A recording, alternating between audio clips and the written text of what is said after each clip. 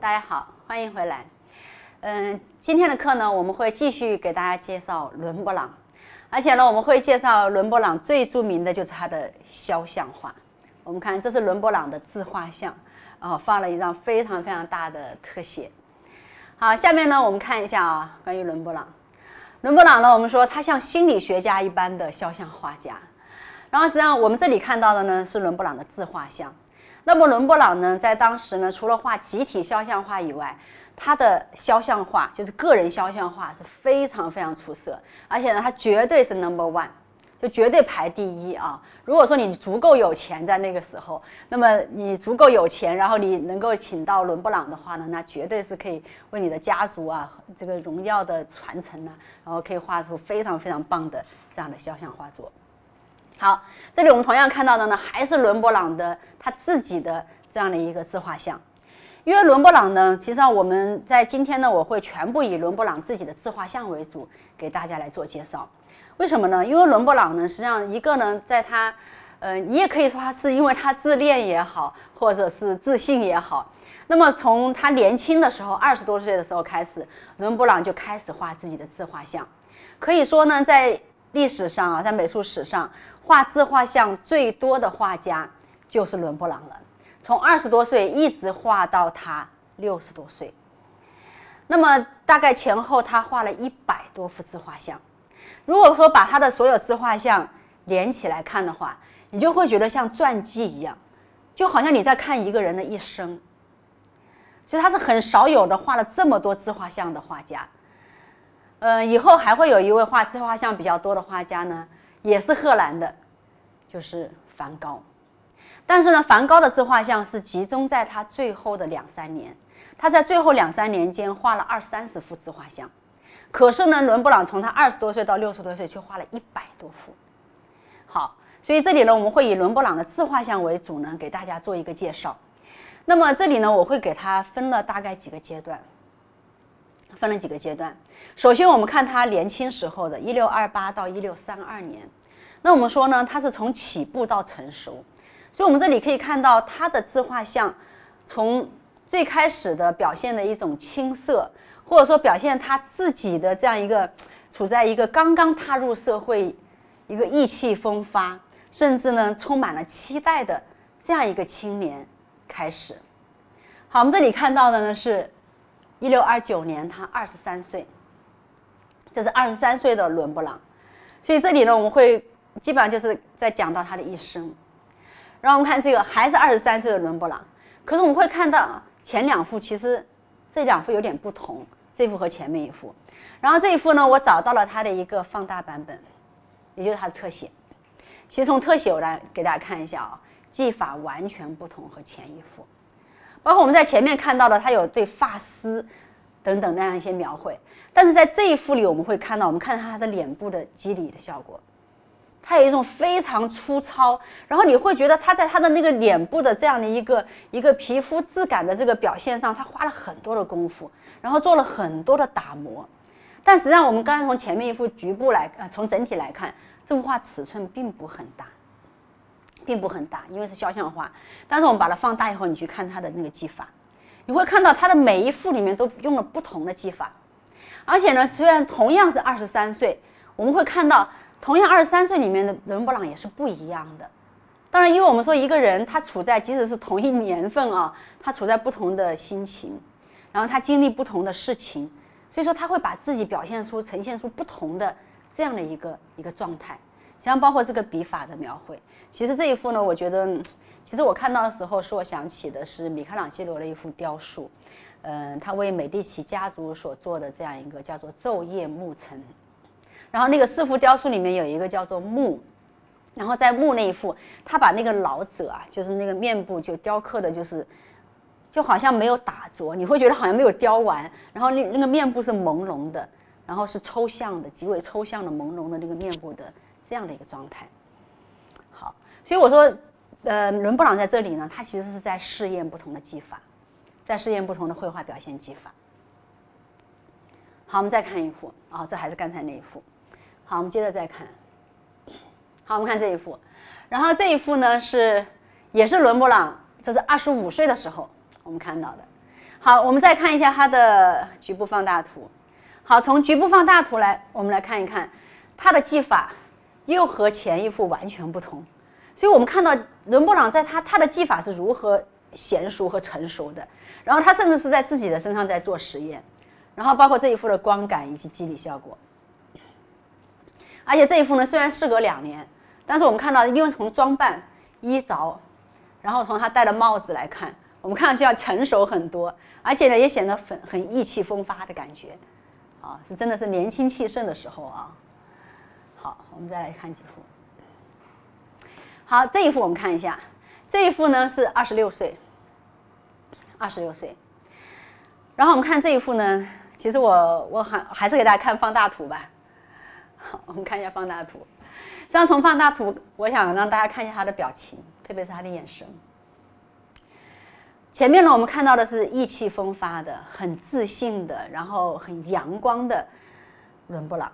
但是我们看这一幅，你去看他好像是有一点迷茫，似乎还有一点点的疲惫，啊，你会觉得这个眼神里其实表现了很多东西。你会看到伦勃朗在他不同时期和不同时刻以及不同心情情绪之下的伦勃朗。而且这一刻，你看，如果说是摄影作品的话啊，你会觉得这个表情的那个瞬间抓拍的非常好。然后特别从细节来看，我们看包括这种胡须的描绘，啊，它的细节是非常细致入微的。所以从这个角度来说，我觉得伦勃朗他其实是一个对微表情非常非常有研究的一个人。他同样在画他自己，可是那种细微的眼神，然后那种通过技法，然后表现出不同的那个脸部的。肌理和质感是完全不同的。好，这里我们再看一幅，这一幅也很有意思。然后这一幅呢，很哎，还是二十六岁啊，我们看到还是二十六岁，我还站这里来。好，我们看一下这一幅，因为前面那一幅我们会看到有一点好像不太精神的伦勃朗，你会觉得有点疲惫，甚至眼神有点迷茫和迷离。但是我们看这一幅，我觉得这一幅的眼神更复杂，大家看一下他的他的他的眼神的那个表情，我觉得这里面好像。有一点，大家可以细细去品味一下。从我自己的感受啊，我觉得好像有一点狡猾，有点狡黠，好像在在想一个什么什么小心思，在耍一个什么小聪明，然后似乎又想好像要掩盖一点什么。而且你会看到他的眼神，他是处在暗部的，他的亮部是在这个部位，在脸的下半部。然后真正表现眼睛的地方虽然在暗部，但是你又可以透露出一些，但又觉得哎，好像他又想隐藏，又想躲藏一点什么。好，然后你再看他的嘴的形状，嘴型，看他的嘴型，他嘴型的这种这这个感觉，你也觉得他好像，哎，他想表达什么，还是他在隐藏什么？啊，整个表情就和前面一幅相比啊，啊，特别丰富，我觉得这一幅的表情。好，我们再看一下。好，我们下下面看到的呢，会是伦勃朗呢，在一六三二到一六四零年，然后这个时候呢，是他最成功的时候。我们前面看到是青年时候的他，然后我们说他是富有而快乐的生活。好，我们看一看。好，这一幅呢，确实呢，从他的穿着，我们看一下啊，包括他戴的发饰，然后他的衣服，衣服上的这样的一个装饰，绝对是当时的上层阶级的这样一个很风流、很过着很自在生活的这样的一位艺术家。然后包括头发，头发的卷曲非常漂亮。好，这一幅呢，我们也有一个放大的作品，我们看一下，看，看一下细节，看下细节。像这一幅细节，我我特别注意到的是这个，他头发上的这种金属的装饰的这个描绘，质感非常好啊，质感很好。好，我们再看这一幅，这一幅其实比较吸引我的是他的装扮，大家看一下这个帽子，帽子的形状很有意思。然后这里呢，我同样想让大家看一下细节，我们看一下衣服的细节。我们看一看，很华贵的丝绒的面料，然后上面的宝石镶嵌，哇，这个它的这种从绘画的细节来说啊，技法是绝对一流啊，绝对是一流的技法。好，我们再多看几个细节，再看一下上面的装饰，看一下上面的装饰品，啊，可以说它的细节啊，你去看伦勃朗的画作，如果你去看原画。看原作，你会觉得它的细节是完美，绝对找不到缺憾的，你是找不到缺憾的，找不到缺点啊。好，再看这一幅，我觉得这个帽子，我们看看这当时所流行的这样的一个很时髦青年啊，当时的时髦青年的这样的一个一个一个装饰样式。好，我们下面看到的这一幅，这一幅呢是在表现他的很奢华的一个家庭生活，然后他年轻的妻子非常漂亮，然后那个时候周末呢，他们因为因为是足够富有啊，他们就经常是宴请宾客，宴请宾客。好，这一幅呢，我还是给大家看一下细节。好，我们首先看到的是他美丽的妻子，啊，非常的温婉，啊，非常的温婉。好，然后我们再看一下画面的其他细节。我们看一下这个袖子的描绘，袖子它描绘了这个衣服的这个丝绸的这个薄的这个质感。因为前面一幅呢，我们看到的是那个。呃，那个那个金属，呃，不叫金属，就天鹅绒吧，像那个丝绒的感觉。然后这一幅我们看到的是丝绸的感觉，那种透明而薄的丝绸，啊，细节非常完美啊，真的细节非常完美。还有它佩戴的佩戴的剑，好，佩戴剑，好，从这些配饰我们都可以看出他的生活非常非常的棒啊。好，这一幅我们看一下，这一幅呢是在一六四零年，三十四岁，然后这个时候呢都是他。人生最风光的时候啊，人生最风光的时候。好，这里呢，我同时给大家看一幅，这是提香的一幅作品。大家会觉得这两幅的姿势是不是非常相像？好，那么提香呢是威尼斯画派啊，在文艺复兴晚期，威尼斯画派一位极为著名的一位色彩的大师，而且提香呢声誉极高。而且呢，他提香应该是活到了九十多岁啊，在那个时候能够活到九十多岁的画家是很少见的，所以提香是绝对当时是意大利绝对是一流、鼎鼎大名，整个欧洲的鼎鼎大名的这样一位绘画大师。所以伦勃朗这个时候他觉得他已经可以和提香相提并论了，所以他把他自己画的和提香一模一样的姿势，他自信的认为自己就是荷兰的提香，自己就是北欧的提香啊，这样子的。所以我们看一下放大。放大图，我们看到也是一个自信满满的伦勃朗。好，我们再接着看一下。好，还是一六四零年。嗯，我们还是从放大图看一下吧。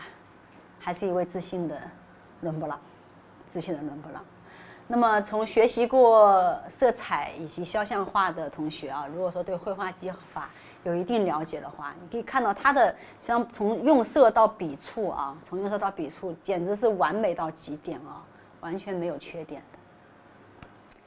好，这里呢，我们看到的自信的伦勃朗，然后他最富足、最风光的那一段时期。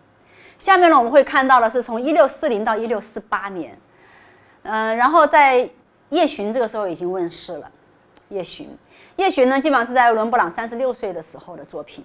但是呢，因为《夜巡》的问世呢，使伦勃朗呢在事业上其实受到了很大的打击，然后他的亲人、他的妻子、孩子相继离世，所以这个时候呢，但是他不愿意去转变他的绘画风格，他不愿意去调整自己，去适应这个市场的需求，所以这样呢，导致呢他的艺术呢后来呢就生活呢就开始呢就走向了落魄，而且呢，他的妻子呢在去世之前。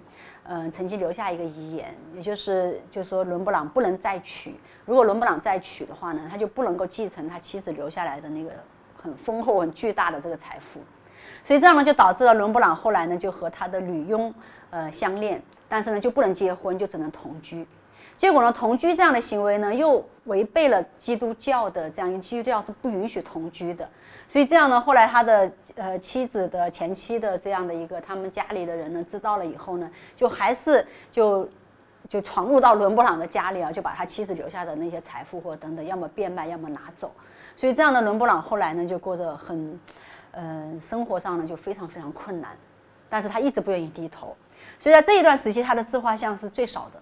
但是还是有比较少一点，但是他的艺术的表现呢，我们会看到，呃，和前面呢就会有有不同，会有很大的差别。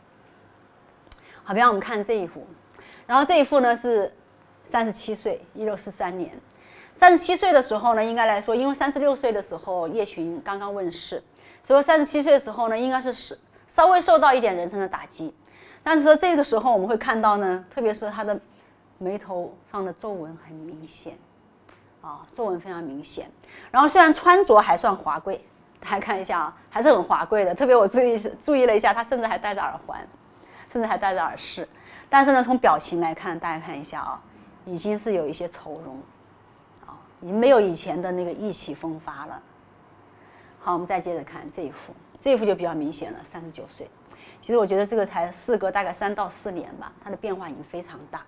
从这一幅看上去呢，就已经是其实才三十多岁啊，不到四十岁。但是我们现在看上去就好像，就像我们现在就是至少差不多五十岁左右的人，然后显得非常非常的憔悴和疲惫。然后这里呢给大家看一下它的放大图，我们看一下。然后他用了比较明显的笔触，非常明显的笔触来描绘他的面部五官。然后生活可能在他这几年所饱受的这样的一些。呃，苦难，你感觉到全部刻画在他的脸上，啊，非常明显。所以说，从这个自画像的对比来看啊，那个反差呢就会非常非常的大。好，我们下面看的这一幅，这一幅是四十一岁，四十一岁的伦勃朗。好，我们还是看一下放大图，放大图。好，这个时期呢，我们会同时看几幅。好，然后再进入到更晚年的时候，一六四八到一六六九，一六六九年是他最后去世，大概六十三岁，六十三岁去世。然后这一段时期呢，他的家产呢就已经完全被拍卖，然后这个时候他找他画画的人就特别特别少了。所以有人说呢，后期呢，在这一段时期呢，他的自画像很多，是因为雇主很少，因为更多的时候他可能是和他自己的内在在一起。然后他有大量的时间去对他自己呢进行自我的内在的这样一个灵魂的探索。好，我们看一下这一段时候的作品。好，我们看到这一幅，四十八岁的伦勃朗，一六五四年，一六五四年。然后我们看到脸部的憔悴，然后经过岁月的这样的一个折磨吧，然后我们会看到非常明显的，完完全全的就写在他的脸上。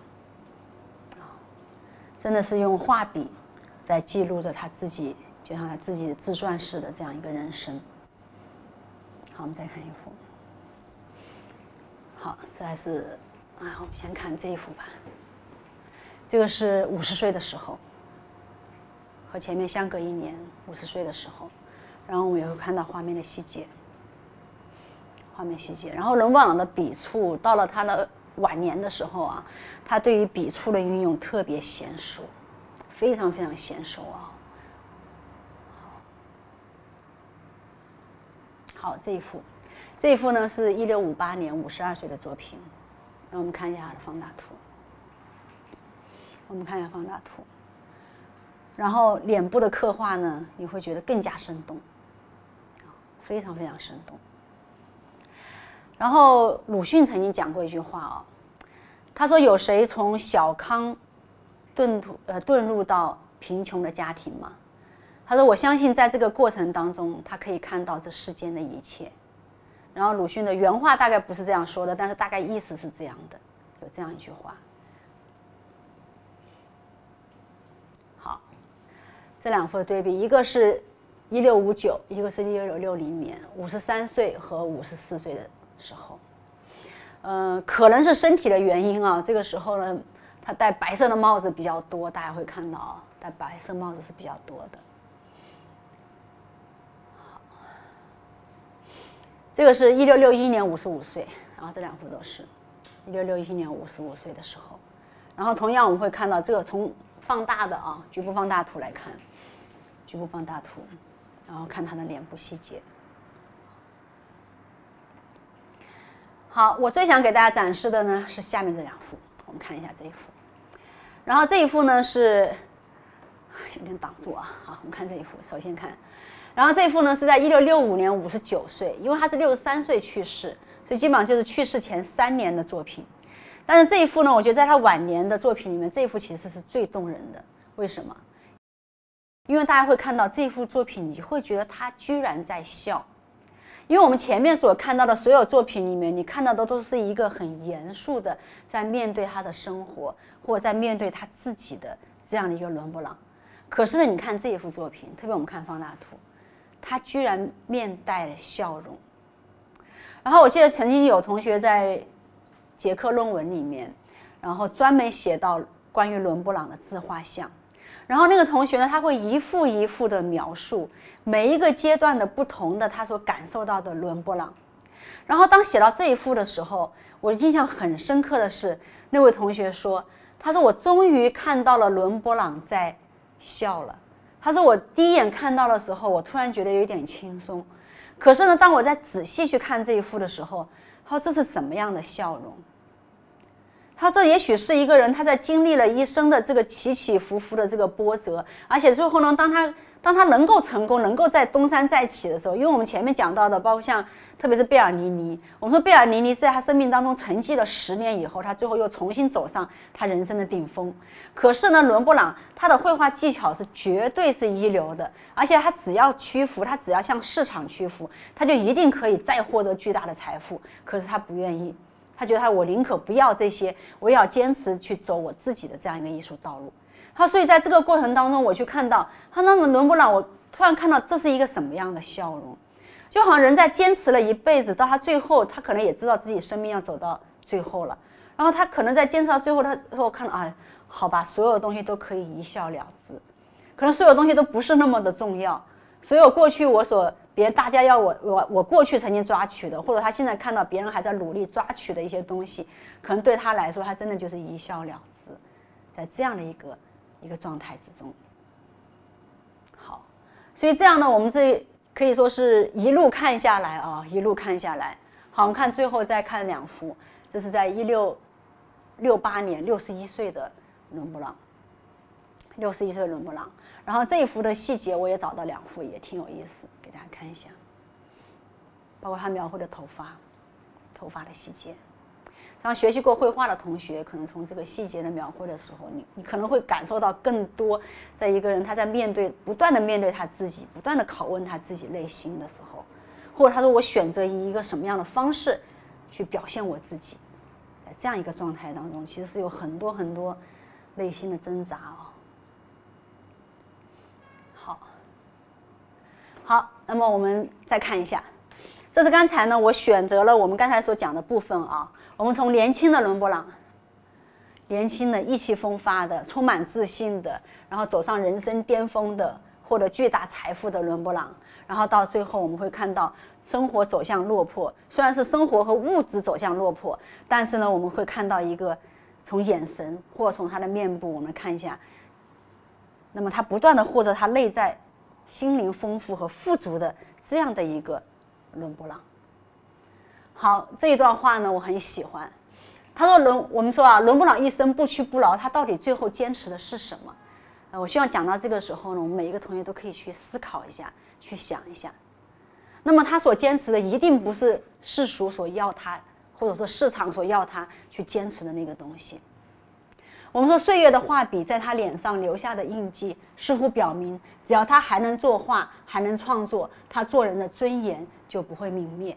他如同穿戴戏服面具的演员，一直在寻找自己的身份。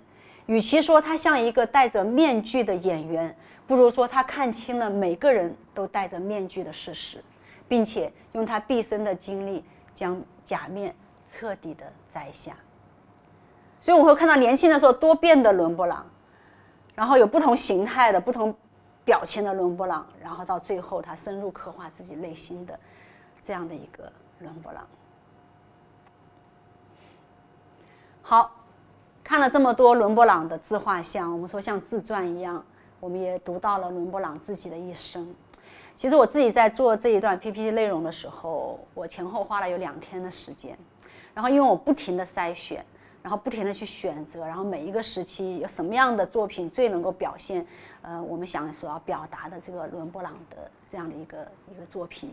所以实际上我在选择的过程当中，在这两天时间哦，我就觉得我在选画的过程当中，我好像跟着伦勃朗的一生就走了好几遍，就跟着他起起伏伏，好像走了很就就是经历了好几个回合一样。实际上我自己内心呢也有很多感触。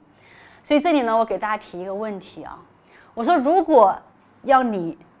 每一位同学啊，现在面对视频的，如果让你来画一幅你生命的自画像，你会选择如何表达自己？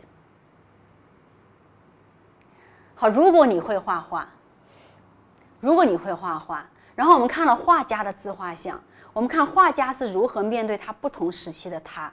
那我们看一下现在当下的你，现在正在听课的当下的你们。那么你们如果说我说让你来画一幅画的话，你会选择如何用什么样的方式去呈现你呢？或者你是呈现带笑容的你，还是严肃的你，还是还是一个什么样状态的你？或者说你会用什么样的色彩来表达你自己？啊，这里面其实有很多可以去值得值得你们去问一下自己的啊。好，当然呢，有一点，我们说如果画一幅自画像，因为我们同学呢，可能大多数同学。你都没有办法去真的去画，但是呢，我们现在是不是都有手机呀？我们现在是不是都有手机？你不会画画，可是你会拍照，对不对？而且我们手机是不是都可以自拍，对不对？而且我相信现在在我们课堂面前来听来听我们这个课堂的同学，你们所有同学你都自拍过，对不对？你无法否认。所以说，如果你不会画，那么你可以拍。所以这里呢，我会给大家布置一个作业。也就是在下周课前，每一位同学都要上传一幅你自己的自拍照，你自己的自拍照。然后我要求是呈现当下的你，大家看一下啊，当下的你。然后在这个自拍照的这个过程当中呢，你还要写一个大概两百字左右的一个简要的说明，不要只交一个照片啊。我也我也想其实读一读当下的你，你对你自己的描述或你对你自己的表达这样的一个过程。但这个过程当中，我需要的是真实，就是你在当下这一刻，你去捕捉一下，你想如何去表现你自己。所以我说，这个重点是你如何表达当下的你，而不是你想成为的你，或者别人要求的你，或者是别人眼中的你。大家看这几句话是不同的，就你想成为你，或者你你当下你自己就是一个什么真实的状态。但是很多时候，可能我们自己想到的就是，哎，我父母要求我怎么样的。老师要求我怎么样的，或者说别人要求你，别人觉得你应该怎么怎么样的，或者说别人眼中以为的你是什么样子的，其实很多时候可能我们是处在后面的这个状态，但是当下真实的你是什么样的呢？我希望你们花一点时间，特别是通过伦勃朗的自画像的过程当中，我希望你们在可能在这一个在面对自己内在的时候，你会有不同的感受。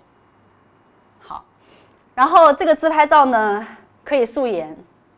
你也可以美颜，为什么？因为美颜其实也在表达自己。我我如何美化我自己，或者我让我自己美颜到多少度？是十度还是一度、两度还是五度？其实这个也取决于一个你对你自己如何去表现的表现的问题。所以说美颜是可以的啊。然后呢，你可以正脸，也可以侧脸，但是呢，你不能把脸遮住，你不能把五官全部遮住，五官要露出来。好，这是我们对于这个自拍照的这样的一个要求。好，这是一个很有趣的作业。我希望通过这个作业呢，我们可以有很多更深的我们对于我们自己内在的，或者说当下的你的真实的你的一个体会，并且能把它表达出来。